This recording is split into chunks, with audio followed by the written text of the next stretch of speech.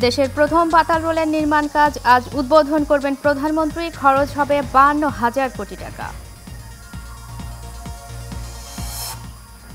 ক্ষমতায় যেতে হলে নির্বাচনে আসতে হবে সিদ্ধান্ত নেবে জনগণ, বললেন প্রধানমন্ত্রী। অমর একুশে বইমেলার উদ্বোধন।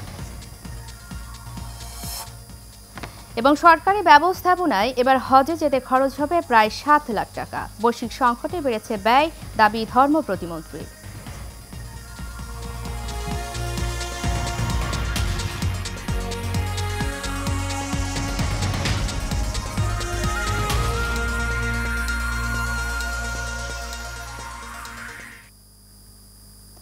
সবাইকে স্বাগত সে নিউজের সাথে আছি আমি উর্মি আক্তার। এতক্ষণ শুনছিলেন বিআরবি কেবল ইন্ডাস্ট্রিজ লিমিটেড সংবাদ শিরোনাম, এবারে চলে যাচ্ছি পুরো খবরে।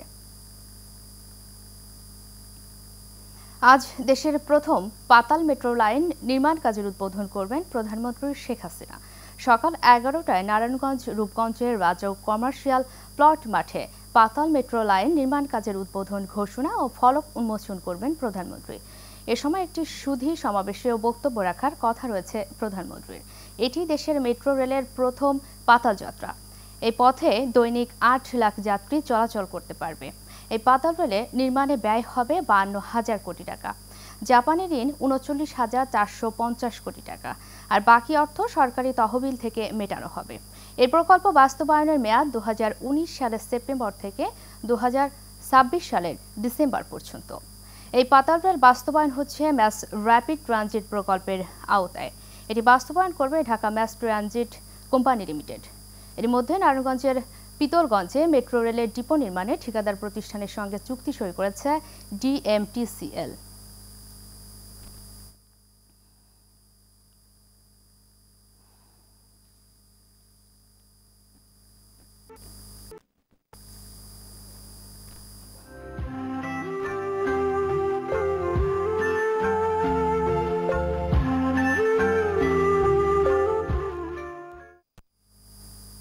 এবারে অমর একুশে বইমেলার খবর।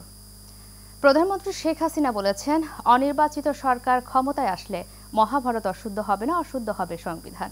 কিছু মানুষের দেশের স্থিতিশীলতা কখনোই ভালো লাগে না। ক্ষমতায় ইচ্ছে থাকলে জনগণের কাতারে দাঁড়াক। দেশের স্থিতিশীলতা নষ্ট করার অনেক চেষ্টা করা হবে, তবে দেশের সেবা করে যাবে সরকার। বুধবার বাংলা একাডেমি প্রাঙ্গণে অমর একুশে বইমেলার উদ্বোধনী অনুষ্ঠানে দেওয়া বক্তৃতায় সব কথা বলেন তিনি। লাবণ্য ভূয়ার রিপোর্ট। বিশ্ব মহামারী করোনার কারণে টানা দুবছর পর সশরীরে বাংলা একাডেমি প্রাঙ্গণে অমর একুশে গ্রন্থমেলা দু হাজার তেইশের উদ্বোধনী অনুষ্ঠানে অংশ নেন প্রধানমন্ত্রী শেখ হাসিনা। এ সময় সঙ্গে ছিলেন ছোট বোন শেখ রেহানা। এবছর একুশে পদকপ্রাপ্ত পনেরো জন কবি, সাহিত্যিক, গবেষককে পদক তুলে দেন প্রধানমন্ত্রী।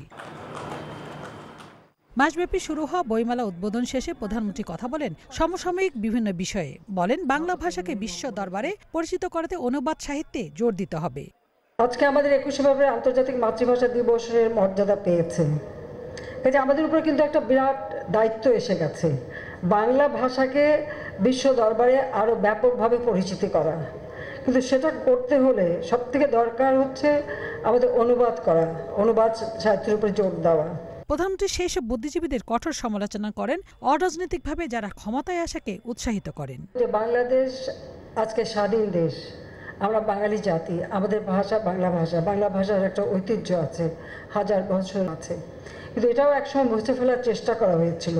বাংলা একাডেমির সভাপতি সেলিনা হোসেনের সভাপতিতে অনুষ্ঠানে স্বাগত বক্তব্য রাখেন বাংলা একাডেমির মহাপরিচালক কবি নুরুল হুদা। করোনা মহামারীর কারণে দুই বছর মেলা নির্ধারিত সময়ে শুরু হতে পারেনি, তবে এবার পুরো ফেব্রুয়ারি মাস জুড়েই চলবে অমর একুশে বইমেলা। প্রধানমন্ত্রী বইমেলা উদ্বোধন শেষে বিভিন্ন স্টল ঘুরে দেখেন। এ সময় তিনি বেশ কিছু বইও কিনে নেন। Labanya Bhuiyan Asian television, Dhaka. সরকারি ব্যবস্থাপনায় চলতি মৌসুমে হজের খরচ ছয় লাখ তিরাশি হাজার আঠারো টাকা নির্ধারণ করেছে সরকার। বুধবার দুপুরে সচিবালয়ে হজ প্যাকেজ দুহাজার তেইশ বিষয়ে সিদ্ধান্ত গ্রহণের লক্ষ্যে হজ ব্যবস্থাপনা সংক্রান্ত নির্বাহী কমিটির সভায় এ সিদ্ধান্ত নেওয়া হয়। এদিকে বেসরকারি ব্যবস্থাপনায় হজের খরচ সরকারি চেয়ে কম থাকবে। শহীদুল হক জীবনের ক্যামেরায় আরও জানাচ্ছেন বাতেন বিপ্লব। বিশ্ব মহামারী করোনা এবং সাম্প্রতিক বৈশ্বিক পরিস্থিতির মধ্যেও ধর্ম বিষয়ক মন্ত্রণালয়ের প্রতিমন্ত্রী মোহাম্মদ ফরিদুল হক খানের সভাপতিত্বে চলতি মৌসুমের হজ নিয়ে সভা শেষে সাংবাদিকদের সিদ্ধান্ত জানানো হয়। সি প্যাকেজেও তারা দিতে পারে। তাদের তো আমরা আপত্তি নেই, কেউ যদি বেশি টাকাতে যায়, যাবে। এটা হবে তারা ব্যবস্থা করবে। ছয় লাখ বেসরকারি বলে কোনো কথা ডি প্যাকেজ প্যাকেজ ডি ছয় লাখ সাতান্ন হাজার নয়শো ষাট।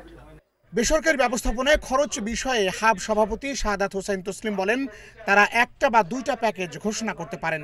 তাতে সরকারি খরচের বেশি তারা প্যাকেজ ঘোষণা করবেন না। অনেকে মনে করে বিমান ভাড়া বেশি হওয়া উচিত, অনেকে মনে করে কম হওয়া উচিত। আমার বক্তব্যটি স্পষ্ট।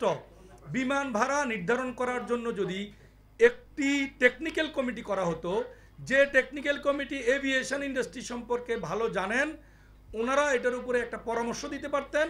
তারপরে অন্যান্য সকলে মিলে একটা ভাড়া নির্ধারণ করতো চাঁদ দেখা সাপেক্ষে আগামী সাতাশ জুন সৌদি আরবে পবিত্র হজ অনুষ্ঠিত হবে।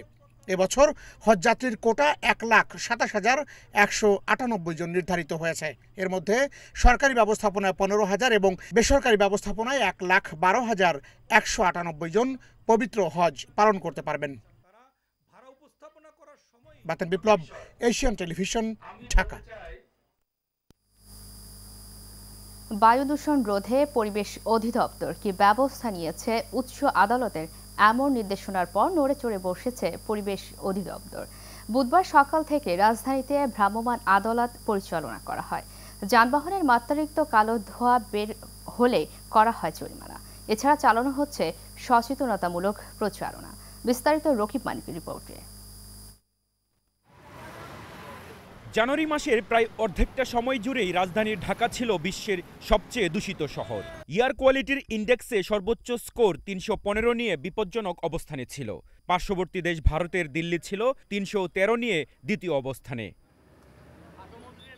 এয়ার কোয়ালিটি ইন্ডেক্সের তথ্য মতে, রাজধানীর কোথাও ছিল না নির্মল বাতাস। মাত্রা অতিরিক্ত যানবাহনের কালো ধোঁয়া, সেই সঙ্গে ছিল ধুলির কণা। যা মানুষের শ্বাসকষ্ট থেকে ফুসফুস নষ্ট করে দিচ্ছে ক্রমান্বয়ে। যে সকল গাড়ি কালো ধোঁয়া নির্গমন করে বায়ু দূষিত করতেছে, সেগুলো আমরা আজকে তাদেরকে আইনের আওতায় আনব এবং এই সকল গাড়ি আমরা বন্ধ করার ব্যবস্থা করব। বায়ু দূষণ রোধে পরিবেশ অধিদপ্তর ভ্রাম্যমাণ আদালত পরিচালনা করছে। যানবাহনের ধোঁয়া পরীক্ষা করে লেভেল পঁয়ষট্টির বেশি হলে করা হচ্ছে জরিমানা। ব্যক্তি পর্যায়ে এবং আমাদের প্রাতিষ্ঠানিক পর্যায়ে সকল নির্মাণ কাজে আমরা দেখতে পাচ্ছি যে অনেক ক্ষেত্রে ভায়োলেশন হচ্ছে। এটার বিরুদ্ধে মোবাইল কোর্ট আমরা পরিচালনা করছি। দূষণ রোধে সিটি কর্পোরেশন বিআরটিএ সহ সমন্বিত উদ্যোগ গ্রহণ করা হচ্ছে বলেও জানান মন্ত্রী। Rakib Manik Asian television Dhaka. বিএনপির কর্মসূচিতে জনগণের কোনো সাড়া নেই। দিন দিন বিএনপি পৃথিবী ছোট হয়ে আসছে বলে মন্তব্য করেছেন আওয়ামী লীগের সাধারণ সম্পাদক, সড়ক পরিবহন ও সেতু মন্ত্রী ওবায়দুল কাদের। তিনি বলেন, বিএনপির অস্তিত্ব সংকটে পড়েছে। বুধবার ঢাকা মহানগর দক্ষিণ আওয়ামী লীগের শান্তি সমাবেশে তিনি একথা বলেন। আরও জানাচ্ছেন বিপুল দেব রয় বিএনপি জামায়াতের সন্ত্রাস, নৈরাজ্য ও সরকার বিরোধী ষড়যন্ত্রের বিরুদ্ধে ঢাকা দক্ষিণ মহানগর আওয়ামী লীগের উদ্যোগে রাজধানীর যাত্রাবাড়িতে এই শান্তি সমাবেশের আয়োজন করা হয়। এতে প্রধান অতিথি হিসেবে উপস্থিত ছিলেন আওয়ামী লীগের সাধারণ সম্পাদক ওবায়দুল কাদের। সমাবেশকে কেন্দ্র করে দুপুর থেকে ব্যানার ফেস্টুন নিয়ে দলে দলে যোগ দেন নেতাকর্মীরা। বিশেষ অতিথির বক্তব্যে আওয়ামী লীগের শীর্ষ নেতারা বলেন বিএনপি আন্দোলনে ব্যর্থ হয়ে নীরব পদযাত্রা শুরু করেছে কিন্তু মানুষ তাদের সাথে নেই তারা নির্বাচনও ব্যর্থ হবে।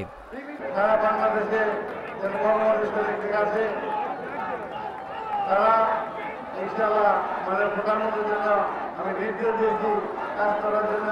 তারা আন্দোলনে ব্যর্থ হয়েছে আজকে তারা নতুন করে কর্মসূচি দিয়েছে নীরব পদযাত্রা। সেই নীরব পদযাত্রা থেকে আবার সরকার বিরোধী আন্দোলন করে এবং তারা ভোট ঘোষণা করে এই সরকারের পতন ঘটাবে। মানুষ বুঝে গেছে তাদের আন্দোলন ব্যর্থ। চক্রান্ত করে আমাদের অগ্রযাত্রাকে ব্যাহত করতে পারে। আমরা ওই সন্ত্রাসের বিরুদ্ধে, আমাদের সংগ্রাম জঙ্গিবাদের বিরুদ্ধে আমাদের সংগ্রাম। বিএনপি আজ অস্তিত্ব সংকটে পড়েছে তাই নির্বাচনে অংশগ্রহণ করে অস্তিত্ব টিকে রাখার আহ্বান জানান আওয়ামী লীগের শীর্ষ নেতারা। জয়লাভ করে রাষ্ট্র ক্ষমতা আসতে পারবে না বলেই তারা নির্বাচন বানচাল করার ষড়যন্ত্র আছে এরা বিষধর সাপ। যে কোনো সময় ছবল মারতে পারে। তার জন্য আমাদেরকে হুঁশিয়ার থাকতে হবে। প্রধান অতিথির বক্তব্যে আওয়ামী লীগের সাধারণ সম্পাদক ওবায়দুল কাদের বলেন, জনবিচ্ছিন্ন বিএনপির সকল দাবি ভুয়া। তারা ব্যর্থ রাজনৈতিক দলে পরিণত হয়েছে বলে জানান তিনি চুয়ান্ন দল সাতাইশ দফা চোদ্দ দফা বিএনপি মানে বিএনপির আন্দোলন সরকার পতন লাল কার্ড তত্ত্বাবধায়ক সরকার সবই ভুয়া বিএনপির পৃথিবী দিন দিন ছোট হচ্ছে জানিয়ে ওবায়দুল কাদের বলেন রাজনৈতিক মাঠে আওয়ামী লীগ ভয় পায় না ভয় পায় বিএনপি। এই পৃথিবী আরও ছোট হয়ে যাবে। ভয় আমরা পাইনি। ভয় পেয়েছে BNP. Bipul Debroy Asian television Dhaka. বর্তমান সরকার জোর করে দেশের মানুষের ঘাড়ে চেপে বসেছে। তাই এই সরকারের পতন ঘটাতে না পারলে দেশের মানুষের ভাগ্যে উন্নয়ন করা সম্ভব নয় বলে মন্তব্য করেছেন বিএনপি স্থায়ী কমিটির সদস্য মির্জা আব্বাস। বুধবার দুপুরে রাজধানীর কমলাপুরে গণতন্ত্র পুনরুদ্ধারে দশ দফা দাবি আদায়ে বিএনপির শেষ দিনে চতুর্থ দফা পদযাত্রা শুরুর আগে সংক্ষিপ্ত সমাবেশে তিনি এসব কথা বলেন। তিনি আরও বলেন, সরকার বিএনপির পদযাত্রা শোভাকে ভয় পেয়ে নড়বড়ে হয়ে গেছে। ক্ষমতায় টিকে থাকার সময় শেষ হয়ে আসছে তাদের।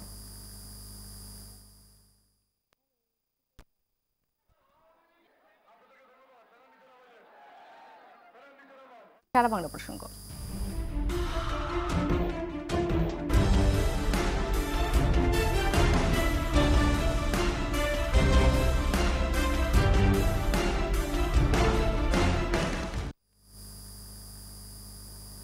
রংপুরের বদরগঞ্জে সালিশি বৈঠকের নামে দুই নারীকে নির্যাতনের মামলায় ইউপি চেয়ারম্যান সহ তিনজনের চোদ্দ বছর, দুইজনে তিন বছর এবং চারজনের এক বছর করে কারাদণ্ডাদেশ দিয়েছেন আদালত। বুধবার দুপুর দুপুরে রংপুর নারী ও শিশু নির্যাতন দমন ট্রাইব্যুনাল দুই এর বিচারক রকুনুজ্জামান এর রায় ঘোষণা করেন। মামলার বিবরণে জানা যায়, দুহাজার এগারো সালের পনেরো জুন উপজেলার কাশীপুর লিচু বাগান এলাকায় চরিত্রহীনতার অভিযোগ তুলে স্থানীয় দুই নারীর বিরুদ্ধে সালিশি বৈঠক করে তাদের নির্যাতন এবং ভিডিও ধারণ করা হয়। বিষয়টি গণমাধ্যমে প্রকাশ পেলে হাইকোর্ট শর্ত প্রণোদিত হয়ে রুল দেন। পরে ভুক্তভোগী এক নারী বাদী হয়ে মামলা করলে চুয়ান্ন আসামির বিরুদ্ধে দুই দফায় পুলিশ তদন্ত প্রতিবেদন দেয়। পনেরো জন সাক্ষী সাক্ষ্য শেষে দীর্ঘ সাড়ে এগারো বছর পর মামলাটির রায় দেওয়া হয়।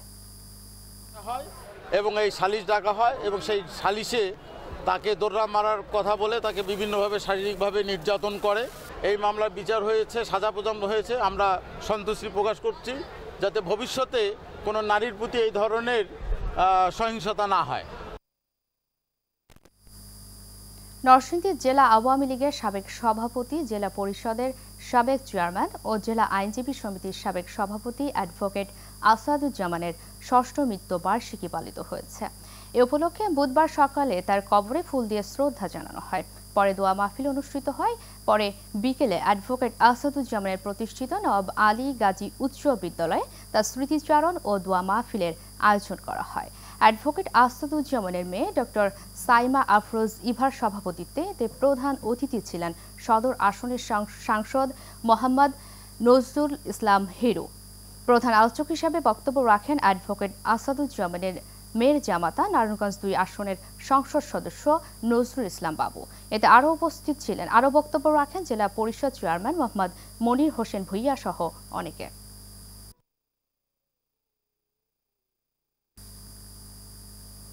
কুমিল্লার হোমনায় অভিযান চালিয়ে পঞ্চান্ন বোতল ফেন্সিটির সহ দুই মাদক কারবারিকে আটক করেছে পুলিশ।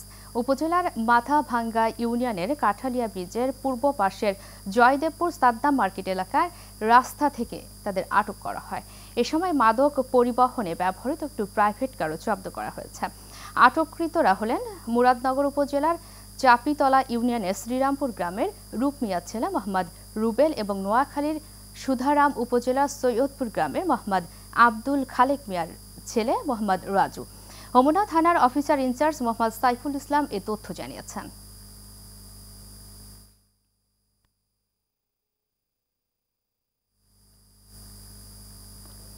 কুষ্টিয়ার দৌলতপুরে আমন ধান সংগ্রহ অভিযানে লক্ষ্যমাত্রা পূরণ নিয়ে দেখা দিয়েছে সংশয়। গত নভেম্বর থেকে এই অভিযান শুরু হলেও এক হাজার দুইশো চুয়াল্লিশ টন ধান সংগ্রহের লক্ষ্যমাত্রা তেমন অগ্রগতি নেই। বাজার দরের তুলনায় সরকারি দাম কম বলে আগ্রহ হারাচ্ছেন কৃষকেরা। যদিও উপজেলা নির্বাহী কর্মকর্তা মোহাম্মদ আব্দুল জব্বার জানান ধান বিক্রিতে কৃষকদের আগ্রহী করতে খাদ্য দপ্তরকে নির্দেশনা দেওয়া হয়েছে। এবছর দৌলতপুরে উপজেলায় আমন ধান উৎপাদন হয়েছে এক লাখ পাঁচ হাজার নয়শো বারো টন।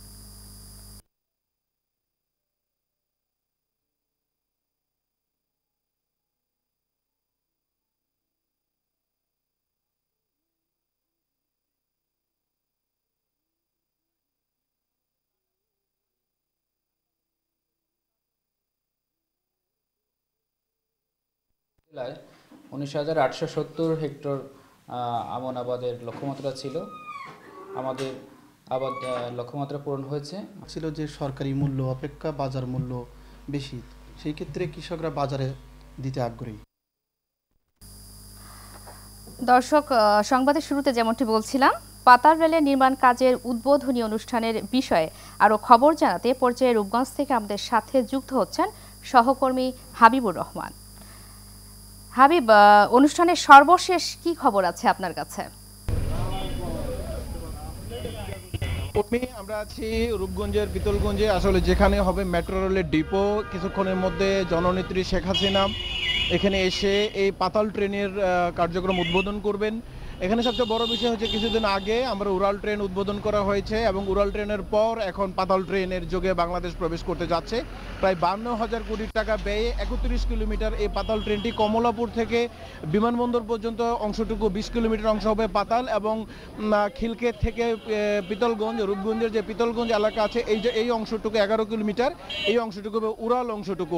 তো আপনি আমরা সকাল থেকে দেখছি যে অনেক লোকের জনসমাগম হয়েছে। অনেক নেতাকর্মী ভরপুর এই এলাকাটাতে একেবারেই সব মানুষের সয়লাভ এই ইতিহাসের সাক্ষী হওয়ার জন্য এই মহেন্দ্রক্ষণে সকল নেতাকর্মীরা উপস্থিত হয়েছেন। দল মত ভেদ করে সকলেই আসলে আমরা উপস্থিতি দেখতে পেয়েছি। আমরা ঢাকা ম্যাস ট্রান্সিট আহ, যে ট্রান্সপোর্ট কর্পোরেশনের অথরিটির মাধ্যমে যেটা জানতে পেরেছে যে আসলে এই বান্ন হাজার কোটি টাকার মধ্যে প্রায় বত্রিশ হাজার কোটি টাকা দিচ্ছে জাইকা এবং বাকি টাকা বাংলাদেশ সরকার বহন করছে এই প্রকল্প বাস্তবায়ন করার জন্য। উর্মি, আরেকটা জেনে খুশি হবেন যে, এই নারায়ণগঞ্জের এই যে পিতলগঞ্জের যে ডিপো এলাকাটা আছে, এটা প্রায় প্রস্তুত প্রধানমন্ত্রীর উপলক্ষে, আগমন উপলক্ষে এবং সকল কার্যক্রম সম্পূর্ণ ওনার উদ্বোধনের মধ্য দিয়েই মূলত এই পাতাল ট্রেনের কার্যক্রম শুরু হয়ে যাবে। মাহেন্দ্রক্ষণ অপেক্ষা করছে নারায়ণগঞ্জবাসী সহ সারা দেশবাসী। আমরা অনেকের সাথে কথা বলেছেন, বলেছিলাম, আসলে তারা ইতিহাসের অংশ হওয়ার জন্যই এত জন এত কষ্ট করে, এত তীব্র যানজট এবং এত মানুষ অপেক্ষা করেই সেখানে জামায়াত হচ্ছে এবং তারা বেশ উদ্গ্রীব এবং আনন্দিত কখন প্রধানমন্ত্রী পদার্পণ করবেন এই রূপগঞ্জের মাটিতে? তো এই ছিল উর্মি, আমার কাছে নারায়ণগঞ্জের সর্বশেষ। ধন্যবাদ হাবিবুর রহমান আপনাকে। দর্শক রূপগঞ্জ থেকে আমাদের সাথে যুক্ত ছিলেন সহকর্মী হাবিবুর রহমান। আমরা চলে যাচ্ছি অন্য প্রসঙ্গে। পটুয়াখালীর রাঙ্গাবালী উপজেলায় এশিয়ান টেলিভিশনে দশম বর্ষপূর্তি উপলক্ষে আলোচনা সভা ও কেক কাটা হয়েছে। বুধবার দুপুরে উপজেলা পরিষদ মিলন আয়তনে এশিয়ান টিভির রাঙ্গাবালী প্রতিনিধি আয়ুব খানের সভাপতিত্বে অনুষ্ঠানে বক্তব্য রাখেন উপজেলা পরিষদ চেয়ারম্যান ডক্টর জহির উদ্দিন আহমেদ। উপজেলা নির্বাহী কর্মকর্তা মোহাম্মদ সালেক মুহিত, উপজেলা ভাইস চেয়ারম্যান খালিদ বিন ওয়ালিদ, উপজেলা মহিলা ভাইস চেয়ারম্যান মাতুয়ারা লিপি। উপজেলা আওয়ামী লীগের সাধারণ সম্পাদক সাইদুজ্জামান মামুন, রাঙ্গামালী প্রেস ক্লাবের সভাপতি কামরুল হাসান সহ আরও অনেকে।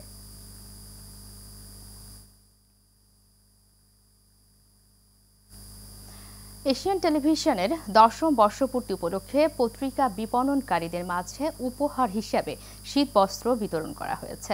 এশিয়ান টেলিভিশনের নাটোর প্রতিনিধি এনামুর রহমান চিনুর আয়োজনে নাটোরে প্রেস ক্লাব মিলন আয়তনে এই উপহার দেওয়া হয়।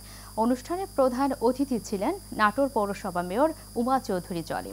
নাটোর প্রেস ক্লাবের সভাপতি ফরাজি আহমেদ রফিক বাবনের সভাপতিত্বে এ সময় অন্যান্যদের মধ্যে বক্তব্য রাখেন দীঘাপতিয়া এম কে অনার্স কলেজের সাবেক অধ্যক্ষ আব্দুর রাজ্জাক। প্রেস ক্লাবের সাধারণ সম্পাদক বাপ্পি লাহেরি সাবেক সভাপতি রাহিন রায় সহ পত্রিকা বিপণনকারীরা। এছি বিআরবি কেবল ইন্ডাস্ট্রিজ লিমিটেড সংবাদ বিরতি, ফিরে অন্যান্য খবরের সাথে আরও যা থাকছে। ইংলিশ প্রিমিয়ার লিগের রেকর্ড দামে বিশ্বকাপ জয়ী আর্জেন্টাইন গোলরক্ষক অ্যাঞ্জো ফার্নান্ডেসকে দলে ভিড়িয়েছে চেলসি।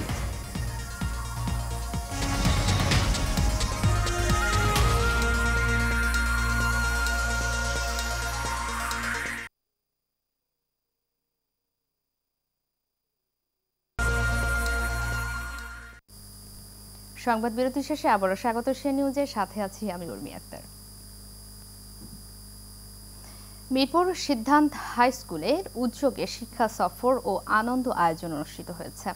গড়ান চটবাড়ি তামান্না ওয়ার্ল্ড পার্কে স্কুলের ম্যানেজিং কমিটির অন্যতম দাতা সদস্য দারুস সালাম থানা আওয়ামী লীগের নেতা আলহাজ মোহাম্মদ গিয়াস উদ্দিনের উদ্যোগে এই আয়োজন করা হয়। দিনব্যাপী নানান আয়োজনে মেতে ওঠেন শিক্ষক, শিক্ষিকা শিক্ষার্থী সহ অভিভাবকেরা। এ সময় গিয়াসউদ্দিন বলেন, শিক্ষার মান উন্নয়ন এবং দক্ষ জাতি গঠনে শিক্ষার্থীদের লেখাপড়ার পাশাপাশি শারীরিক চর্চা ও বিনোদন জরুরি।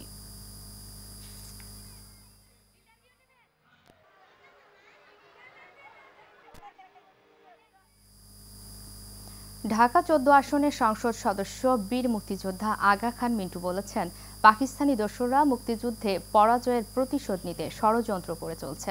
এ বিষয়ে সবাইকে সজাগ থাকার আহ্বান জানান তিনি। বুধবার স্তাভরের কাউন্দিয়ায় শীতার্থদের মাঝে কম্বল বিতরণে এই কথা বলেন তিনি। এ সময় উপস্থিত ছিলেন কাউন্দিয়া ইউনিয়ন আওয়ামী লীগের যুগ্ম সাধারণ সম্পাদক মুকুল চৌধুরী। সাবেক চেয়ারম্যান আতিকুর রহমান শান্ত সহ স্থানীয় আওয়ামী লীগ ও অঙ্ক সংগঠনের নেতাকর্মীরা।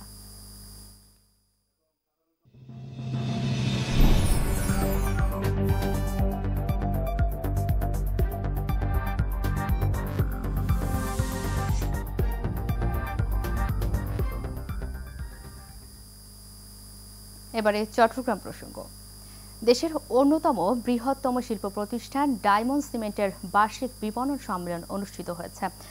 চট্টগ্রামের ভাটিয়ারি গলফ অ্যান্ড কান্ট্রি ক্লাবের হলে সম্মেলনে বক্তব্য রাখেন প্রতিষ্ঠানটির ব্যবস্থাপনা পরিচালক আব্দুল খালেক পারভেজ পরিচালক লায়ন মোহাম্মদ হাকিম আলী, উপপরিচালক আবদুল্লাহ আল ফরহাদ, ডিসিএল ব্লকের পরিচালক আবদুল্লাহ ইফতেকার চিস্তি সহ আরও অনেকে।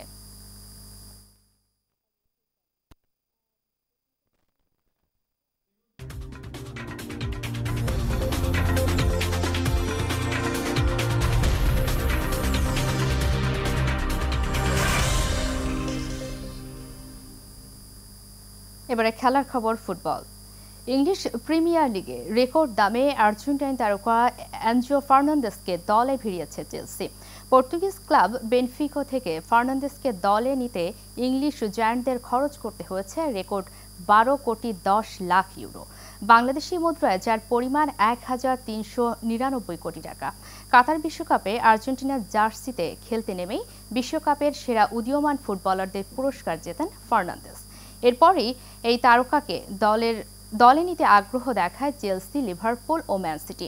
সবাইকে পেছনে ফেলে শেষ পর্যন্ত ফার্নান্দেসকে দলে নিল চেলসি। আগামী দু হাজার একত্রিশ সাল পর্যন্ত ফার্নান্দেসের সাথে চুক্তি করেছে ইংলিশ দলটি।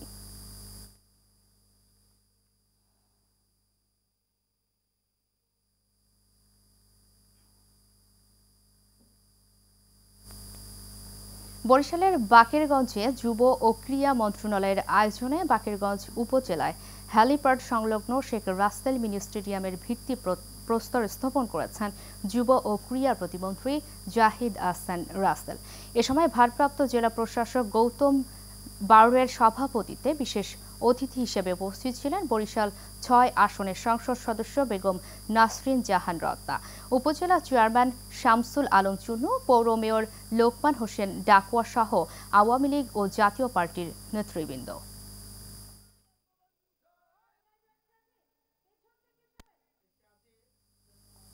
দর্শক, শেষ করবে সে নিউজ। তার আগে বিআরবি কেবল ইন্ডাস্ট্রিজ লিমিটেড সংবাদ শিরোনামগুলো জানাব আরও একবার।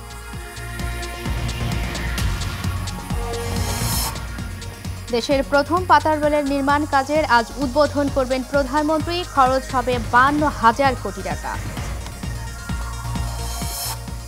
ক্ষমতায় যেতে হলে নির্বাচনে আসতে হবে সিদ্ধান্ত নেবে জনগণ, বললেন প্রধানমন্ত্রী। অমর একুশে বইমেলার উদ্বোধন। এবং সরকারি ব্যবস্থাপনায় এবার হজে যেতে খরচ হবে প্রায় সাত লাখ টাকা। বৈশ্বিক সংকটে বেড়েছে ব্যয়, দাবি ধর্ম প্রতিমন্ত্রী